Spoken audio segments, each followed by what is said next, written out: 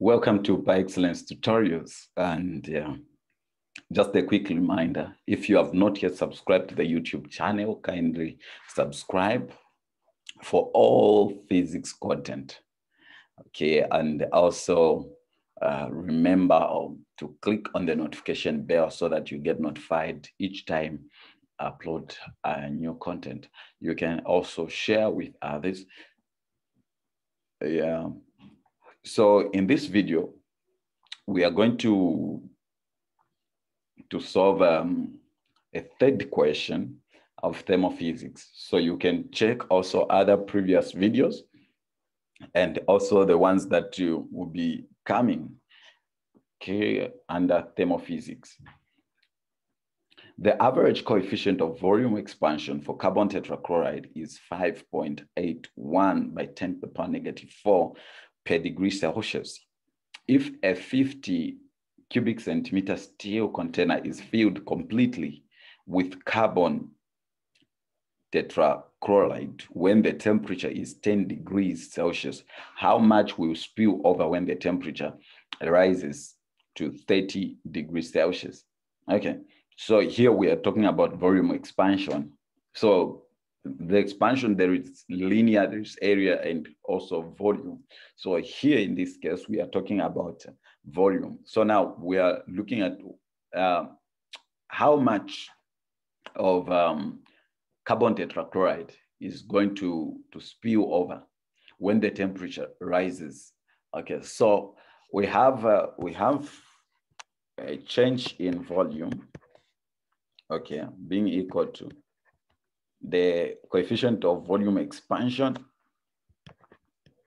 initial volume times change in temperature. So it's quite uh, similar with uh, linear expansion for linear expansion. So now what do we expect? Uh, what do we expect? What do we expect to, to happen? So the volume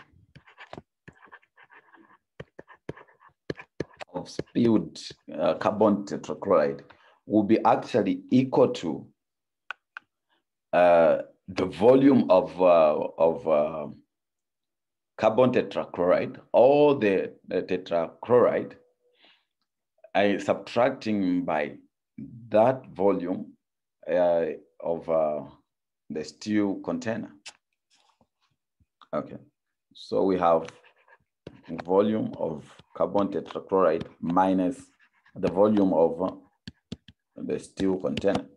And that will give us the volume of the spilled carbon tetrachloride. So here what we have, we know that we can substitute this equation in this equation, of which is going to be that since we have, uh, these are different uh, um, we have steel and we have also carbon tetrachloride. So this one will say this is for carbon tetrachloride 80. But you should observe that all of them, they are subjected to the same temperature and the same initial volume. Okay, and then we have coefficient of volume expansion for steel and also given by that. Now, when you look at steel, for steel, it's, it's, it's a material. It's not expanding in, in, in terms of volume. Uh, like it, there's going to be linear expansion in this uh, in this steel. So there's a relationship between um, uh, the coefficient of volume expansion and the coefficient of linear expansion. And that uh, relationship is given by, okay, three of that. Okay, so once we plug that, we're going to have, so this is steel, this is also steel. So we are going to have, uh, uh, we are going just to factor out change in temperature and initial volume. And here we are going to have that minus 3 alpha stew. Okay, so we're going to have that after plugging in.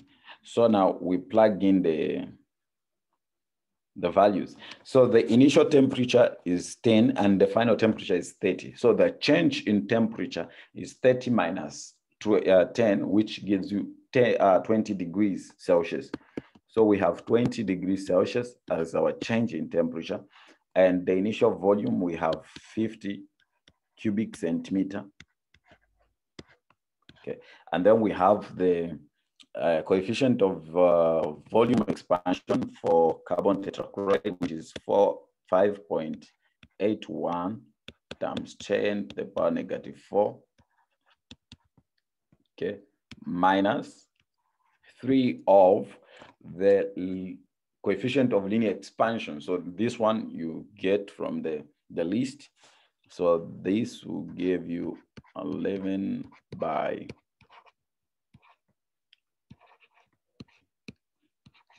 and then you have that.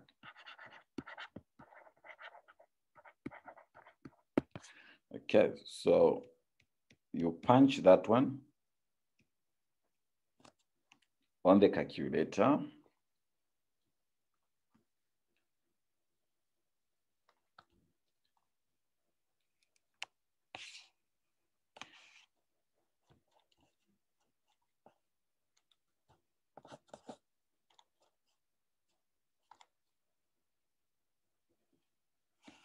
And you are going to have the volume of 0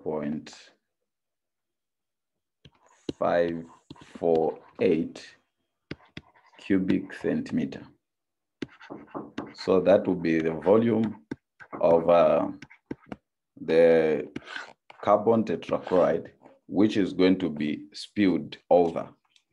Okay, so that is how we solve uh, that question. Okay, thank you for watching.